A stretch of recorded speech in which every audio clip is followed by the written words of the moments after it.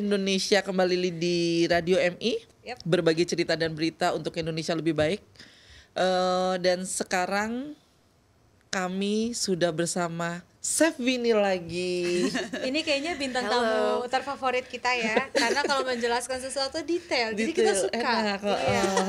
dan merasa tidak digurui ya dengan Iya, dengan apa kita langsung gitu, bukan langsing. Halo Chef, apa kabar Chef? Halo Mbak Lisa, halo Mbak Nuke. Baik ya kabarnya. Baik dong. Kayak kalau chef ini tuh selalu ceria gitu ya, kayak nggak ada beban lemak gitu di hidupnya. Gak ada kayaknya lemak. Banyak. Gak Dia ada ngomong lemak. banyak apa kabar kita ya, Mbak? Baiklah. Kalau kita gudang. gudang gudang penyimpanan saya boleh kalau mau minta nih berbagi ikhlas kok Eh, kan Indonesia eh, berbagi cerita dan berita. iya kalau kita berbagi lemak. baik baik Saf di episode kali ini kan kita bahasnya tentang diet Oke. kalau kemarin ketemu tentang vegetarian mungkin ini nggak ada beda beda beda beda tipis lah ya gitu Eh, Iya mungkin ya, cuman kalau porsi makan tapi sebenarnya mungkin ini dulu definisinya diet, Diet, dulu nah. dah. Nah, itu Karena dia. semua orang selalu ngomong gue lagi diet, Diet, gue lagi diet, diet. gitu kan. kayak Nuku juga gitu kalau ditanya kamu diet ke diet gitu padahal malam mie ayam seblak gitu Oh dietnya diet mie ayam, berarti makannya mie ayam mulu. jangan ditiru jangan ditiru sekali lagi jangan ditiru oke Oke, definisi diet kita satuin dulu aja ya. Heeh. Kalau orang punya pandangan diet itu biasanya ngurusin badan. Iya benar. Nah sebenarnya kalau diet itu adalah pola makan. oke gitu. Jadi kayak misalnya vegetarian itu termasuk diet. Kenapa? Itu it's gue diet vegetarian gitu. Aku tuh diet vegetarian. Oke, Aku diet vegan. oke. Aku dietary uh, plan aku itu um, diet gue itu misalnya keto Oke. gitu loh. Jadi memang um, pola makan kita sehari-hari. Oke. Mm-mm. Jadi dia tuh lebih ke pola makan. Pola makan. Nah, Iya. Oke. Oke, jadi apa pun yang namanya lah ya, selama itu diatur, Mm-mm. itu diet, Diet. namanya. diet itu adalah kalau eh lo pola makannya apa sih misalnya gitu Heeh. eh kamu pola makannya sehari-hari itu apa maksudnya em, kalau gimana ya kalau bahasa Indonesia itu em, lo sehari-hari makan apa? Diet lo sehari-hari makannya apa? Gitu. Diet itu berarti nggak hanya melulu soal vegetarian kan? enggak jadi memang itu sangat luas. Misalnya mau untuk nurunin berat, Berat badan, badan. weight loss diet gitu. Oh, itu jadi diet itu pola makan, diet itu pola makan. Di sini ada cabang nih. Yang tadi aku baca tuh berarti ya, iya, buat iya. Apa-apa berat aja. badan, Iya. buat naikin apa masa tubuh, Iya, otot gitu kayak ya. otot, ah, untuk Atau- nge-gym nge-gym kan Atau Ah, diet yang karena kita memang alergi sesuatu atau penyakit. Ah. Iya, Oh, jadi itu misalnya special diet, misalnya gitu.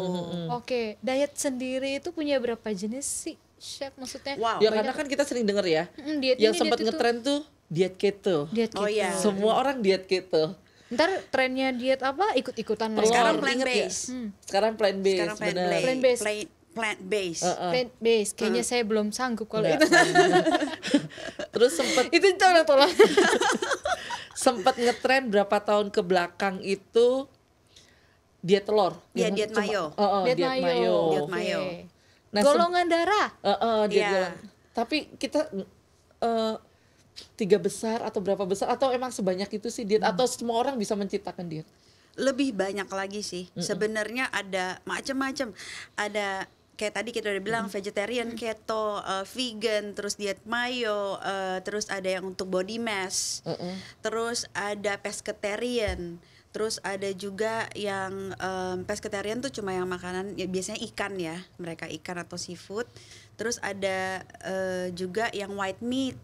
Terus ada macam-macam. Jadi macam-macam banget. Nah, kadang-kadang kita kalau misalnya eh, Mbak Lisa misalnya ya, eh, Mbak Lisa alergi apa gitu kan. Nah, eh, terus ternyata harus cuma bisa makannya ayam aja terus sama sayuran sama ini. Itu biasanya kita sebutnya special diet. Itu untuk Oh, allergenic atau untuk yang hyperallergenic atau yang hypoallergenic atau enggak juga yang untuk medical it's a program. Oke. kayak orang yang baru cuci ginjal Oke. atau operasi ginjal atau transplant atau apa. Mereka punya special dietary program. Itu termasuk diet juga Oke. gitu. Yang penting itu adalah pola makanan eh pola makanan atau intake yang kita dapetin setiap hari dan itu kita program gitu loh. Oke, nah dari semua list-list itu tadi, apakah bisa dipakai semua orang atau Nah, tidak. Oh nggak bisa, yang ini tuh cocoknya ini atau gimana? Um, kalau aku sih selalu rekomen ya,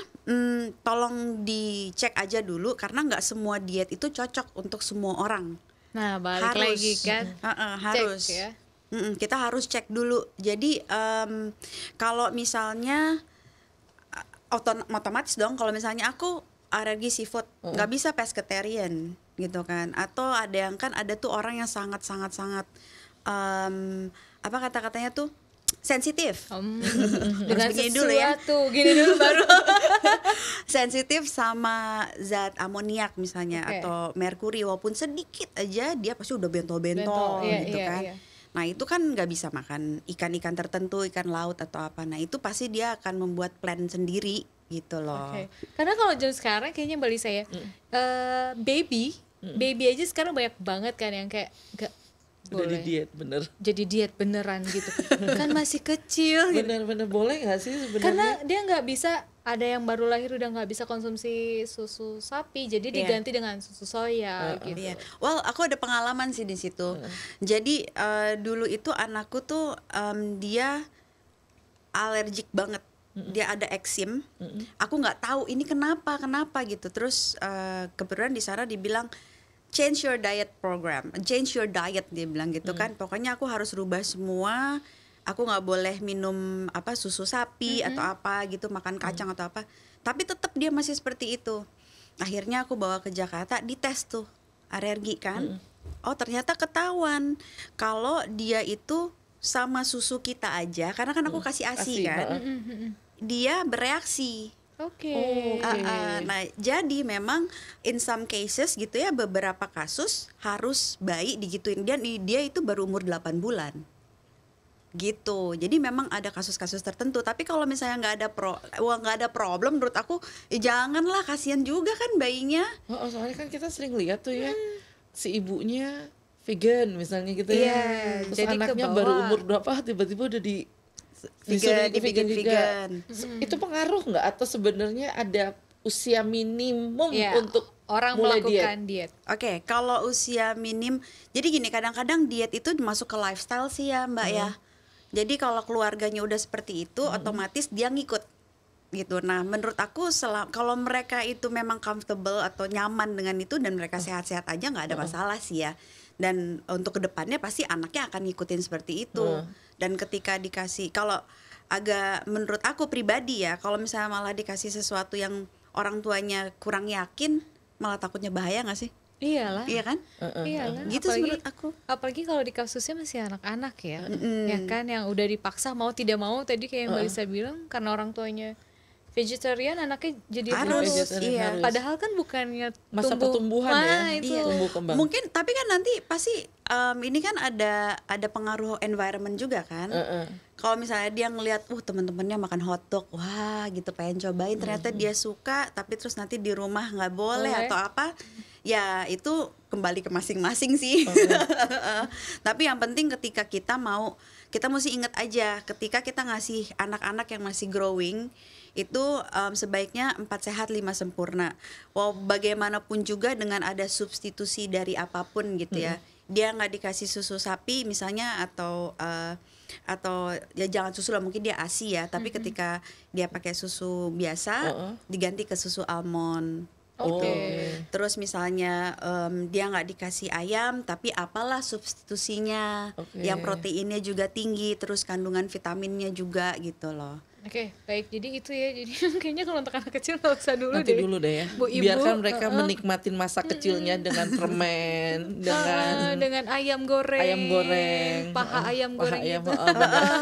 Bener, gitu nugget tapi bakso gitu iya, ya. iya, nugget kita bikin bikin sendiri tapi ya. benar-benar. Iya, iya, iya. Pen- Penasaran ya, ini chef ini sendiri diet gak sih sekarang? Aku Heeh.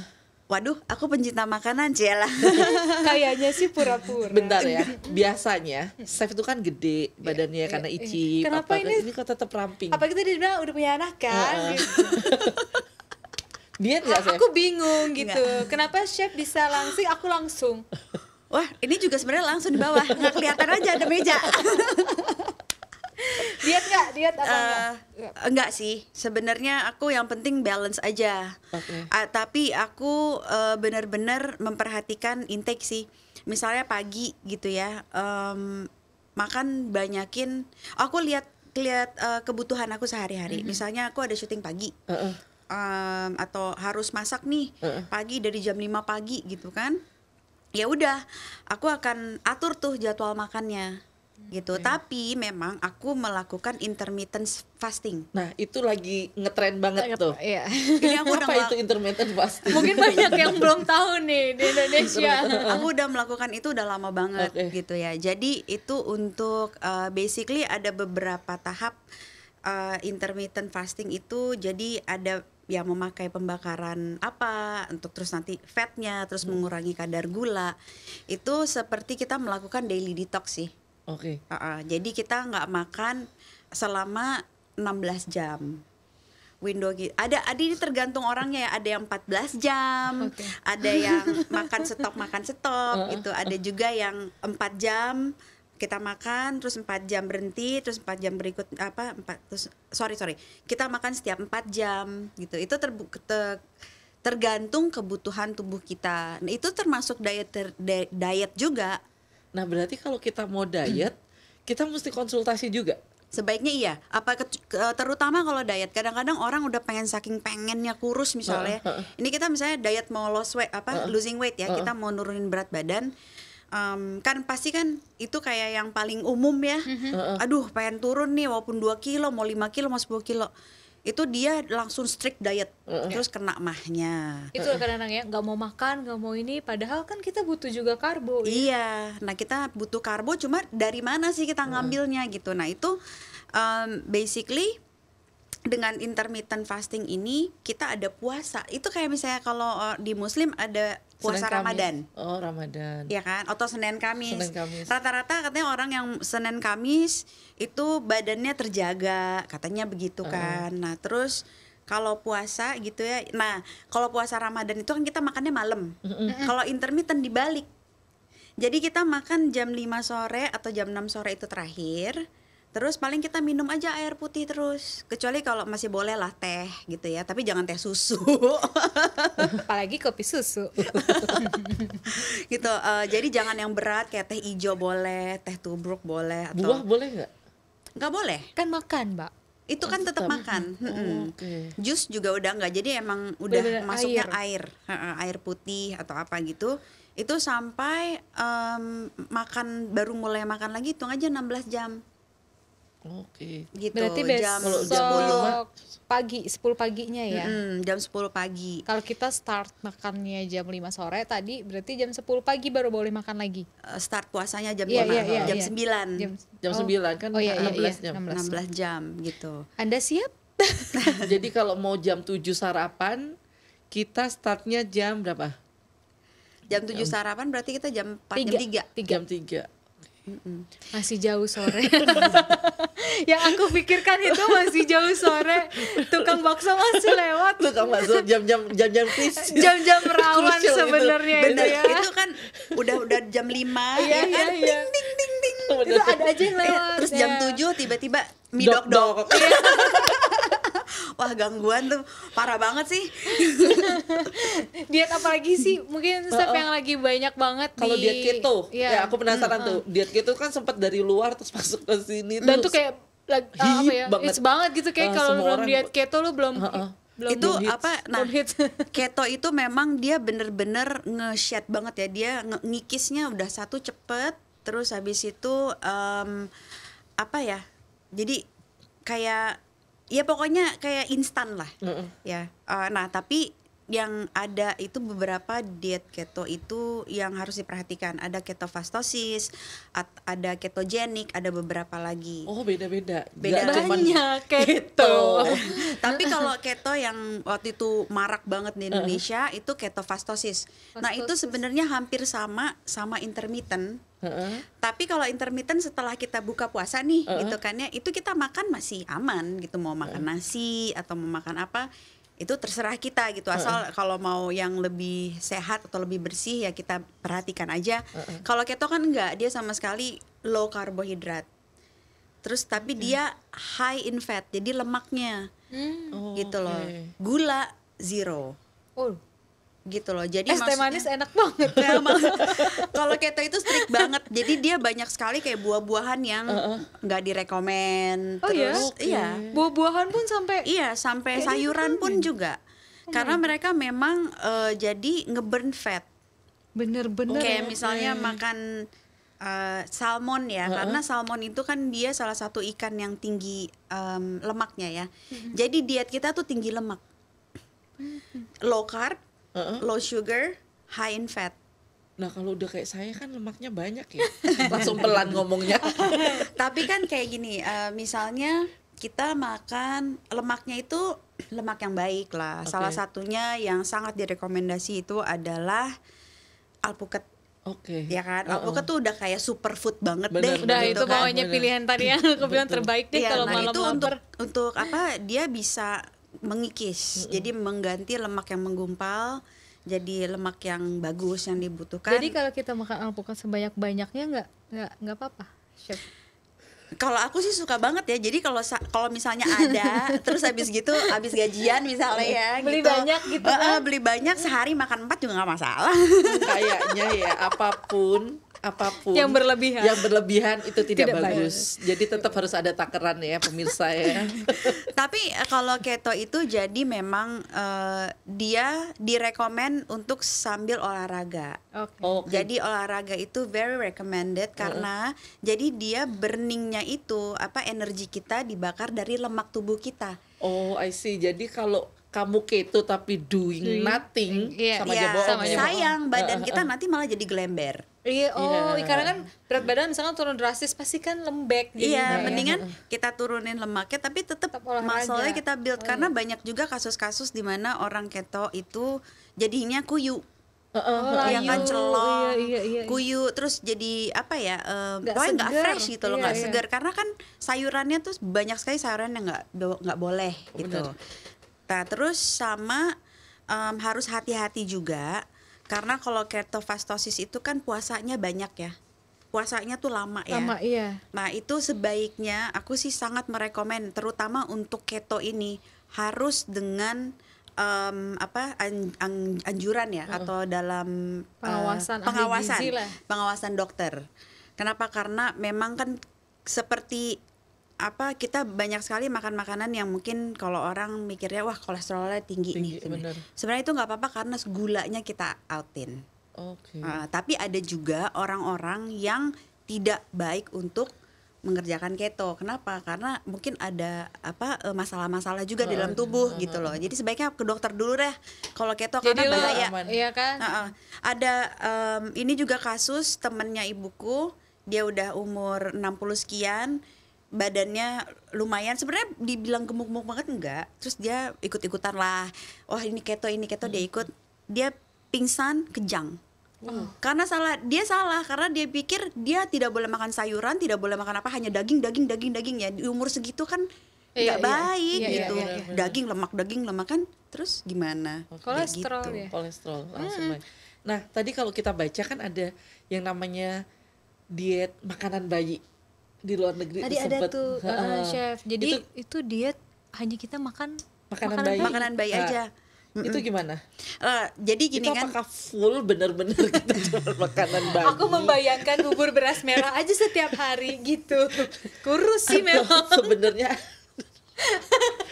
karena secara tulisan kalori kan pasti beda ya kalau Iya, kita begitu contohlah burger gitu ya itu antara 450 sampai 600 Iya. ya kan malah kadang lebih. Nah, tergantung daging yang digunakan Tapi kalau makanan bayi kan kadang se Secuil Segini. gitu. Nah, itu itu paling cuma berapa ya? Satu kan makanan bayi itu dia bentuknya nggak solid ya. Mm-mm. Dia kayak bubur gitu kan. Terus nutrisi di dalamnya itu full. Oke. Nah, terus apa namanya? em, dia porsinya kecil karena porsi bayi. Benar, benar. Iya kan. Jadi otomatis memang em, dipercaya ya. Diper- karena aku nggak pernah melakukan hal itu karena eh, aku mungkin bukan kurang setuju tapi nggak nggak masuklah di aku gitu ya.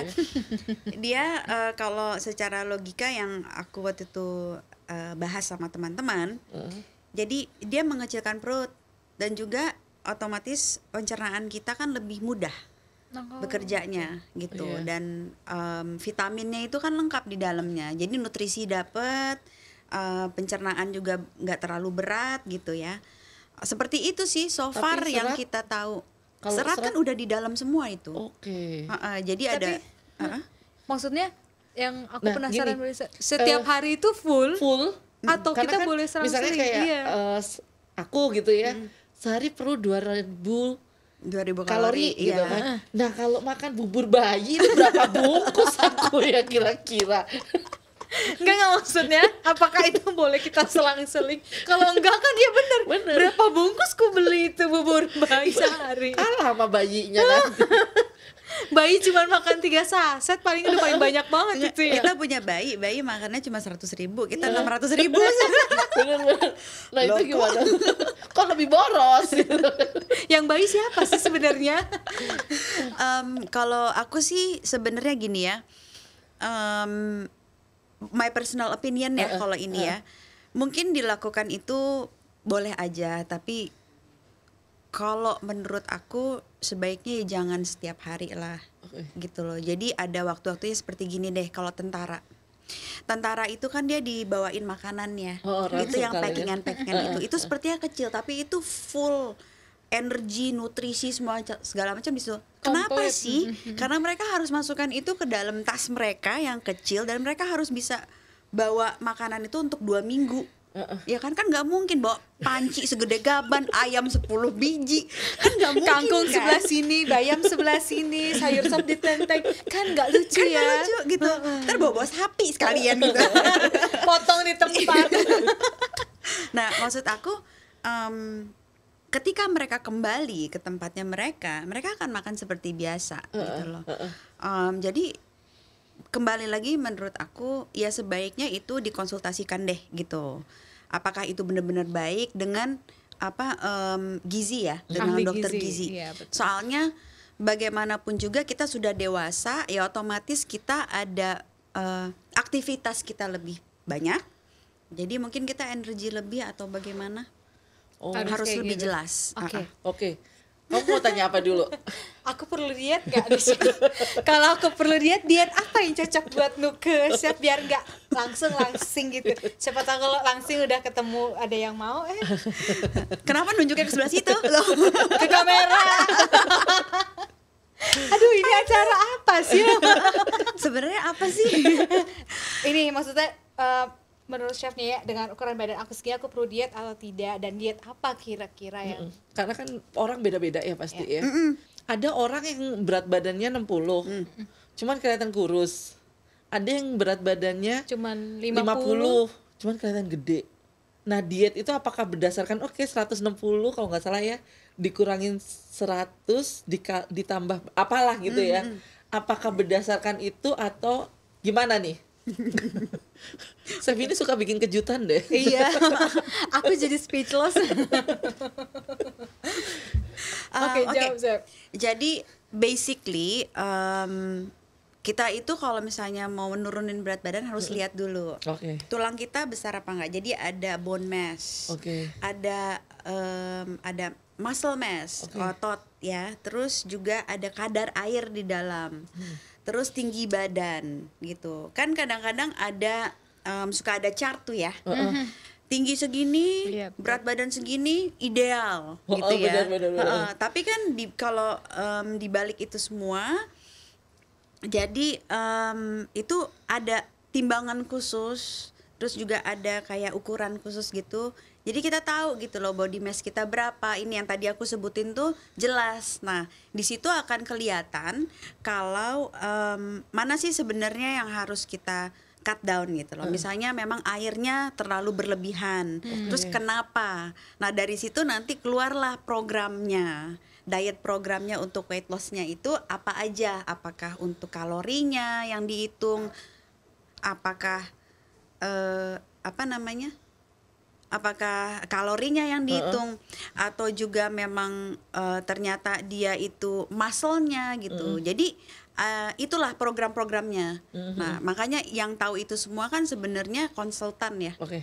Eh, konsultan dari nutritionist Oke. gitu. Nah berarti kalau kita mau diet nggak bisa asal oke hari ini gue mau diet. ya makanya. Makanya ya kan nggak bisa. Makanya tadi Jadi kita mesti tanya tetap ya. Jadi "Eh, ketika anda ingin melakukan diet, baiknya itu tetap ketemu sama konsultan gizi, tanya kira-kira apa sih yang harus saya diet gitu ya? Apakah mengurangin air? Berarti atau meng apa namanya eh, kalorinya, defisit kalorinya atau seperti itu ya? iya Chef ya?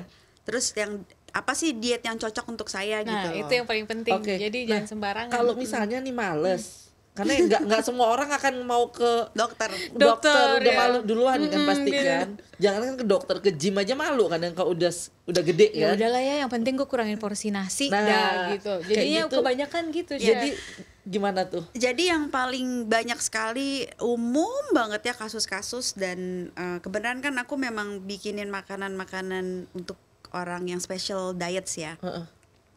Rata-rata untuk yang nurunin berat badan itu sugar itu eh, sugar sama karbohidrat itu di out. Oke. Ah, ah.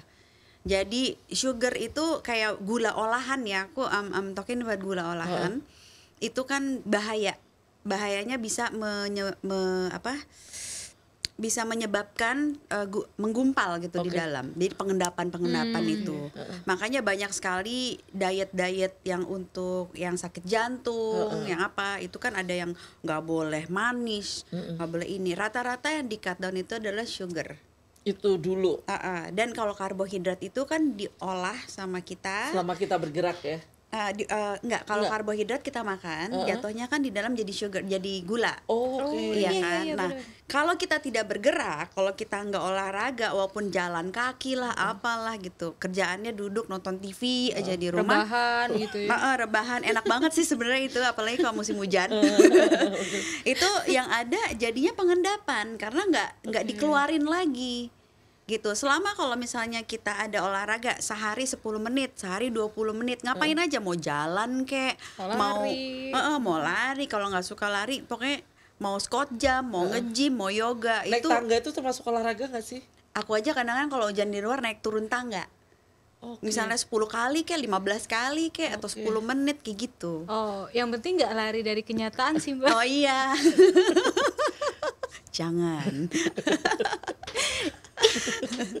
itu yang paling penting ya Iya. Nah, tapi sekarang tahu nggak kalau untuk orang-orang diet itu, eh, jadi ini salah satu itu aku mau kasih informasi aja. Ada em, ini yang aku selalu bilang tergantung dari tubuh kita masing-masing. Oke. Itu ada tes yang namanya DNA.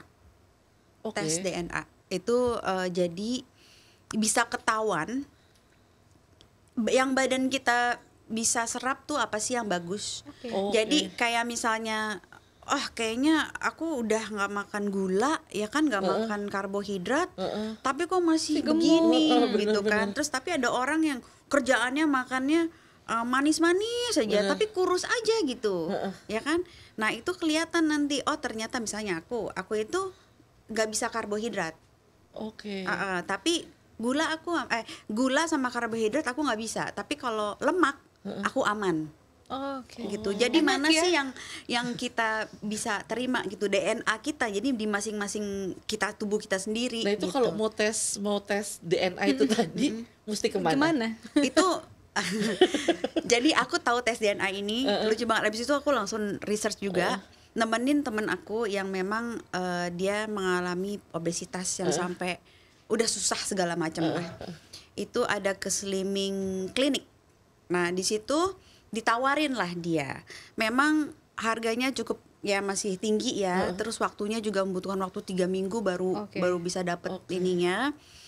Em, nah di situ dikasih tahu. Jadi mungkin bisa tanya ke klinik-klinik sih. Oh gitu. Jadi ke klinik-klinik beauty slimming. Rata-rata begitu. Tapi coba deh lihat di internet kan sekarang kita suka Iya, iya, udah iya. ada ya. kayaknya kalau Chef Bu ini kan tadi udah ketahuan ya aku nggak bisa karbo aku nggak bisa gula kok enak gitu ya soalnya kalau aku chef nih gini nih Hah, ngirup udara lemak langsung chef jadi cepet banget gitu aku bingung kadang udah diet apa aja gitu kan Sometimes tapi kita mesti cinta sama diri kita sendiri dulu itu kali sih ya. yang Iya. penting Itu terkadang perempuan-perempuan itu terlalu insecure dengan eh, karena melihat patokannya cewek cantik itu Harus kurus, begini. langsing, Iya. body kayak aduhai, berlenggok-lenggok gitu. nggak usah deh kita walaupun misalnya kayak Mbak Lisa gitu ya yang penting sehat Itu ya dia. udah bahagia Maksudnya aja gitu. No body shaming lah. Sekarang tuh udah nggak Aduh, zaman ya. jangan deh body ya. shaming tuh nyakitin hati cie kok jadi curcol Nggak bener-bener itu insecure utamanya perempuan kalau udah dibilang gini. Kok gemukan ya? Hah, ah, itu hati langsung berdebar-debar. bener-bener gitu kan Iya kan? pas kemarin ketemu sama tante gitu kan ah Winnie kamu happy ya gemuk deh kamu sekarang mati Bener. Tanpa disadari itu sebenarnya kata-kata yang membuat perempuan tuh insecure. Langsung perempuan, insecure. nggak laki-laki kayaknya ya. ya apalagi nih ya yang laki-laki ya terus begitu ngomong gitu ke pacarnya wah Ih, itu jangan putus, banget deh Putus kan. itu nyakitin hati banget sih ya itu putus kalau ada yang tidak boleh diucap. diucap. Jadi saya eh, aku sempat ngobrol sama suami ketika ini ng- ngasih tahu suami eh, pokoknya kalau di acara keluarga yang tidak boleh kamu lakukan adalah bertanya kok tambah gemuk ya itu jangan pernah dilakukan Iya. terutama ke perempuan aku ngomong gitu tuh sama benar. suami satu itu terus yang kedua kapan punya anak Atau kapan nikah? nah Mata saya melotot. itu adalah tiga kal tiga pertanyaan yang pantang dipertanyakan Kakmat ya. Itu- itu Kalau- setuju banget, Iya, setuju iya banget. kan? Heeh. Kapan nikah? Udah nikah ditanya kapan punya anak? Heeh. Udah eh, udah punya anak? Kapan Kok nggak kurus-kurus? Iya. Bekas melahirkan. Nah, No, itu. Sekarang kita tuh yang penting badan kita sehat. sehat Bener. iya. mau diet seperti apa pun ya apa pun yang penting kita harus bisa menjaga diri kita dengan Betul, olahraga betul. gitu olahraga apa pun itu nggak ada yang oh ini lebih bagus enggak semuanya bagus yang penting cocok buat tubuh kita Ya, sayangi tubuh kita deh kalau kita udah sayang, pasti kita tahu yang terbaik untuk tubuh kita Iya, ya ya kan? benar terus juga kita harus mengenal diri kita gitu loh Benar. kalau misalnya emang kita eh, punya low blood pressure atau darah rendah ya ya lakukanlah olahraga-olahraga yang bisa menstabilkan itu gitu loh terus kalau misalnya apa sendi-sendi kita misalnya nggak kuat ya ya jangan yoga ya cari yang lain misalnya yang lebih jalan. ringan, iya tapi tetap digerakin badannya. Jangan sosokan diet abis itu malah penyakit. Iya, Ya kan? malah ada yang pokoknya dalam satu minggu turun 7 kilo. Waduh, itu bahaya. Nah, itu pertanyaanku selanjutnya. Di eh, ketika kita diet nih, eh, anggap aja dietnya udah konsultan sama Hmm, ahli gizi. ahli gizi dan sebagainya. Itu memang ditarget harus eh, dok aku mau nurunin 10 kilo dalam waktu sebulan atau apa seperti itu atau nanti enggak ini harus pelan-pelan nanti akan segini akan segini akan segini. Uh, well, so far yang kalau aku kerjasama dengan nutritionist ya, um, itu mereka merekomendasikan dalam satu minggu itu turun 2 kilo. Normal itu nih. normal. Sehat Ha-ha. tuh ya kalau turun segitu itu Iya, sehat ya. Tapi kalau misalnya untuk yang memang eh, dia itu akan menentukan ya kalau misalnya memang sudah obes, terus ada penggumpalan di mana atau seperti apa, itu mereka punya perhitungan yang beda lah. Seperti Oke. itu. Dan mereka biasanya bukan hanya mengatur kalori, tapi eh, mereka juga ada beberapa herbal ya biasanya yang membantu untuk bisa apa membuat menahan lah kadang-kadang kan ada Menahan yang lapar. Ah, ah, ada yang Iya. eating disorder Benar, ya. itu saya emosional eating. Tolong panik tapi tangannya. ngomong kan bukannya banyak yang begitu ya banyak Aku nggak pakai eating disorder aja aku bilang tadi hirup udara jadi lemak. Aku bingung. aku minum jadi paha nah itu gimana nah itu eh, kalau udah masuk ke disorder ya biasanya memang em, di, harus diperhatikan mindset. Jadi pola pikir, mentalnya juga Heeh, gitu. Karena kalau misalnya kita melakukan sesuatu yang nggak biasa, ada perubahan, pasti ada aja moody. Bener. Iya kan? itu moody lah, ada pusingnya lah, ada apanya lah, itu jadi satu semua. Terus eh, kalau mindset kita nggak kuat, will kita juga nggak kuat tuh pasti ya udah, ah udahlah bodo amat gue makan lagi aja gitu. Terus itu gambarnya donat lagi. Ayam. Aku udah memperhatikan dari tadi. Dari tadi dikit-dikit ngomong ngeliatnya ke iya, situ. Keburu chef ini yang ngucap, ya padahal aku dari tadi udah ngelirik gitu. Itu kayaknya yang green tea kok Itu enak. kayaknya enak gitu. Wah, gagal deh, gagal deh. Jadi ini kalau mau tahu kan lumayan dari tadi ya ngeliatin terus. ya paling Aduh. nggak ngeliatin lah. Kebayang lah. Nah, ini pertanyaan terakhir dari saya, nggak tahu dari Nuga ya kalau dari saya. Misalnya nih akhirnya orang mau diet, tapi Mbak aku mau diet nih chef, tapi nggak mau ke konsultan gitu ya.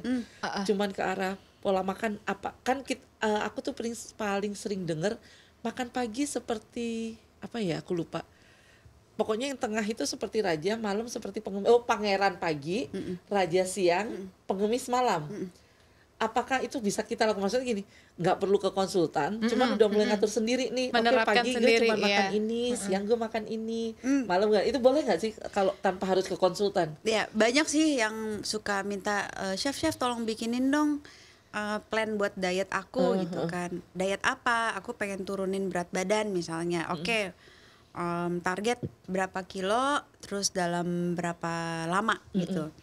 Saya bilang aku mau 10 kilo tapi dalam satu bulan. Aku akan bilang oh, Oh, jangan. Patah hati aja kalau itu sih. Itu aku setuju. ya kan dia terampuh tanpa konsultasi apa pun patah hati. kan kalau saya kan emosional eating, Oh, iya. itu nggak berhasil. Kalau patah hati sih aku jamin berhasil itu. Udah patah hati taruh di hutan. Iya. Ah, udah itu kayaknya lebih dari 10 10 kilo pun bisa. Baiklah, selanjutnya. Nah, jadi em, sebenarnya itu pasti aku akan nanya ya. Em, biasanya makanan dia sehari-hari ini apa? Oke. Terus juga pasti akan nanya biasanya ngerasa kayak bloated tuh kayak kembung, Begah terus kayak orang begah, Jawa. itu Begah, makannya iya, apa gitu kan. Itu nggak masalah. Terus yang aku perlu tahu lifestyle dia seperti apa. Apakah dia banyak duduk, banyak olahraga atau oke? Jadi misalnya gini, kalau dia kerjaannya di kantor Uh-uh. 9 to 5, Oke. ya kan? Dia datang, dia nyetir, dia ke ke tempat kerja dia nyetir atau naik apa online. Oke. Ya, atau ada supir, ya Uh-uh. kan? Berarti otomatis dari dia bangun sampai dia di kantor dia tidak terlalu mengerjakan apa-apa. Betul. Terus siang dia di kantor, ya kan? Terus ada olahraga apa enggak? Ternyata enggak. Selesai jam 5 ya kan? Terus dia ngumpul-ngumpul sama teman-temannya. Duduk lagi. Terus itu kan duduk lagi, terus habis itu dia pulang. Pulang dia makan, dia tidur. Heeh. Nah, berarti kalau misalnya kita ngikutin pagi makan pangeran, siang seperti raja, malam seperti pengemis, tetap aja menumpuk. Karena dia tidak ada kayak olahraga, karena dia kerjaannya duduk. ya. Benar-benar. Nah, itu kita harus bener-bener hitung kalori dia makan. Gitu loh. Oke. Kalori dan pasti aku akan rekomendasi mau 10 menit kek jalan aja keliling kantor kek naik turun atau enggak jalan Iya. ke ke mana kek Alfam apa ke toko Seenggaknya kelontong gerak. kek apa yang penting gerak Gerak. yang penting ada perjalan gitu nah tapi kalau misalnya ada seperti eh, aku contoh aku deh em, siang itu misalnya aku ada ngajar. Ngajar masak. Ngajar masak berdiri. Berdiri mesti ngomong mesti bergerak ya kan? Atau aku ada catering.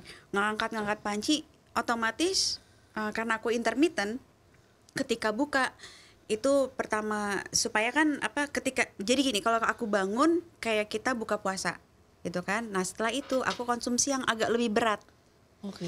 supaya aku ada energi Oke. gitu. Tapi siang itu kan cuma sampai siang kan nah setelah siang aku nggak ngapa-ngapain nih dan aku udah nggak olahraga lagi ya capek lah ya nah di situ aku akan makannya lebih light Oke. sampai terakhir makan malam gitu Oke. Jadi kita lihat kondisi ya. ah, kondisi. Ada orang yang kerjanya misalnya syuting dari Heeh. pagi sampai ketemu kadang ketemu pagi lagi. Nah, Heeh.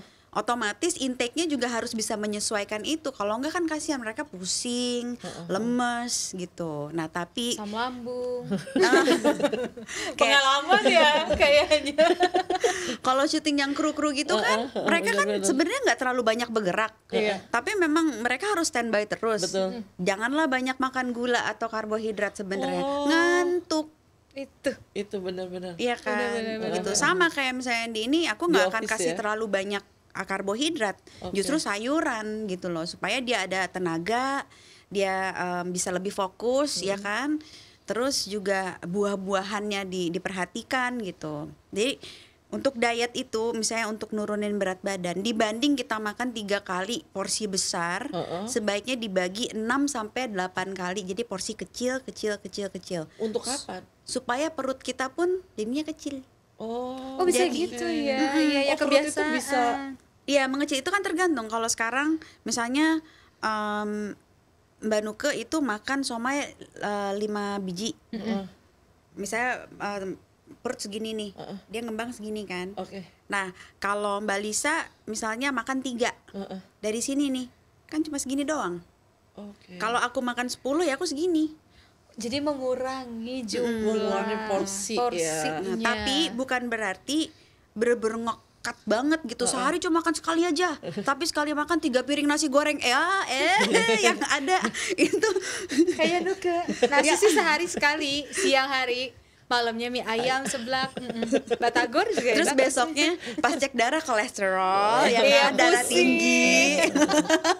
Kepalaku pusing ya Benar, belakang. benar. oh kolesterol. Aduh jangan deh mendingan dikurangin kayak gitu berarti ya chef Mm, ya? jadi makan sehari 8 kali atau enam kali lah paling gampang.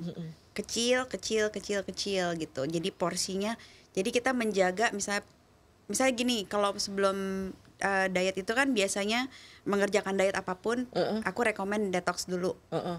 nah itu kan mengecilkan perut. Pasti itu karena kita flushing dan terakhir dia kan istirahat isi istirahat, Istirahat. Karena kan liquid ya. Heeh. nah dia mengecil segini.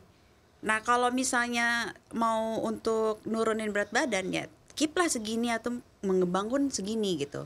Nah intermittent fasting itu bisa mengecilkan kembali. Karena kan dia kan tidak bergerak tidak tidak ada diisi. Dia cuma air aja. Nah terus kalau misalnya kita em, udah detox terus kita makannya tetap satu piring nasi goreng sehari tiga kali kan begini. Tetap. yang ini belum Gede. habis diisi lagi segini lagi diisi lagi segini lagi. Kan sayang juga gitu. Heeh, heeh, heeh. oke berarti eh, Nuke sudah tahu nih chef. Jadi kalau seblak biasanya sepiring gini makan segini aja. Satu Kalau piring dibagi tiga. aja.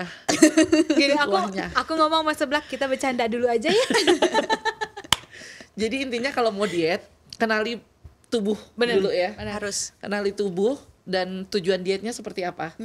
Konsul deh Konsul Biar lebih itu aman, eh, paling enak, konsul ama- eh, paling aman paling memang aman. konsul atau kalau tidak belajar yang itu tadi ya, ngatur porsi dulu. ngatur porsi Bisa. makan Ah, tadi ngatur mau enam kali kalau porsinya cuma sedikit ya chef ya daripada tiga kali tapi porsi besar, Besar. itu malah membuat besar badan kita juga ya? Ya bukan membuat besar sih tapi maksudnya lebih bisa kita lebih bisa menjaga ya. Oke. lebih bisa memaintain kalau lebih porsi kecil-kecil. Ya kecuali untuk kalian ya bersyukur yang punya badan mungkin mau makan sebanyak apa tetap Iya. segitu segitu aja. Seperti udahlah kamera bersyukur lah di- ya. Gak usah diet lah itu mah aku punya Iya, banyak banget teman begitu Seperti kamera person depan muka saya Oh, iya. ini, Mau- mau, makan apa aja tetap segitu. saya iri Saya suka kadang-kadang. insecure kalau jajan sama. kok bisa gitu? Maksudnya Betul. badannya udah segitu padahal makannya banyak gitu. Anugerah bersyukurlah kalian. Oh iya aku ada satu lagi sih mbak mau Oke. ngingetin aja jadi kan ada beberapa tipe penyakit yang mungkin kadang-kadang kita nggak tahu. Kayak hormonal kayak typhoid atau apa. Nah itu bisa menyebabkan berat badan nih.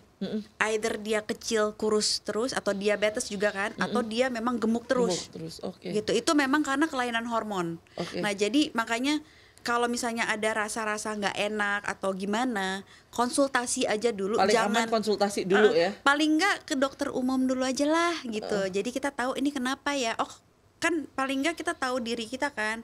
Oh ini nggak apa-apa kok ini emang kamu pasti di- bi- bisa dikasih tahu oh mungkin bisa ngecilin sedikit atau ini udah bagus kok segini gitu yang penting sehat. Nah itulah kadang kalau penyakit yang apalagi hormon base ya Heeh. itu em, apalagi aku pernah mengalami aku cancer Heeh. aku nggak tahu gitu makan apa juga nggak ada aja nggak jadi daging gitu. Eh ternyata udah cancer udah stadium 4 gitu kan. Nah itulah miss-miss yang aku nggak mau kayak teman-teman semua gitu di mana pun juga yang em, sampai terjadi gitu loh. Jadi just just recheck your body gitu loh. Oke, Oh berarti anda salah satu survivor cancer ya? alhamdulillah ya. Oke. Luar biasa. Oh, Pak produser, mungkin next ketemu bisa Dengan di- tema yang tema itu tadi. kayaknya menarik ya. Kita Makanya aku pelajarin banget yang namanya diet diet, maksudnya em, pola makan, karena memang aku harus jaga Oke. gitu loh. Keren, keren Chef Winnie. Terima kasih banyak ilmunya udah Buat oke waktunya banget. Chef Winnie. Terima Jangan kasih. Berbagi kapok-kapok ilmu, ya. jangan kapok-kapok. Jangan bosen-bosen ketemu kita. Nggak enak di sini seru ngobrol. Oh iya pastinya program kita nggak ada yang nggak seru. Bisa ya. Betul. Banget kan? Kan kita berbagi Iya. cerita dan berita Nah, untuk, eh, Indonesia, yang lebih lebih baik. baik. Dengan adanya ilmu dari Chef Winnie barusan, eh. harusnya ya bisa membuat kita dan juga kalian yang lain yang tinggal di Indonesia lebih baik lagi. Benar. Jadi itu tadi kalau mau diet lebih baik ke konsultasi dulu Ahli ke ahli gizi, gizi. ya. Kalau misalnya Mbak aku nggak pede mau ke ahli gizinya, oke kita belajar membagi jadi kecil-kecil dulu deh gitu kan. Atau enggak banyak ya. banyak baca deh ya. Sekarang ilmu Iya, tuh banyak banget banyak di banget. share. Heeh. Manfaatin teknologi yang kalian punya untuk Benar. nyari ilmu. Kalau kalian malu ke ahli gizi kan karena banyak banget. Tapi kalau total merubah ya sebaiknya konsultasilah. Betul. Ya. Tapi balik lagi ya. Ya udahlah ya nggak usah insecure banget dengan badanmu yang ini yang penting sehat. Love yourself, man. Iya. Mungkin Love kalau teman yourself, kalian body gitu kalian ya. langsing ya itu belum rezeki buat kita aja kita belum langsung ya jadi disyukuri yang ada tetap jaga kesehatan olahraga dan itu positive penting. thinking. itu Iya, dia selalu. Karena Terutama di masa pandemi positive thinking itu sangat diperlukan. benar-benar Karena pikiran yang sehat imun ya. Nah, Hmm, Sama kalau kita sehat. ketawa itu membakar kalori juga loh. oh dari Oh, tadi iya. mendingan kita Kita banyak kita ketawa banyak. karena siapa tahu dengan banyak ketawa kecil perut saya ini chef Oh, Oke. latihan otot. Latihan otot. Habis ini kita di balik layar mau latihan dulu. Tapi segmen ini kayaknya udah kepanjangan. Kita harus closing. Harus closing segmen ini saya dulu. sudah. Begini-begini dari tadi. Oke. Tetap di radio, M- Radio MI berbagi cerita dan berita untuk Indonesia lebih baik masih di Mata Milenial Indonesia TV Matanya Indonesia.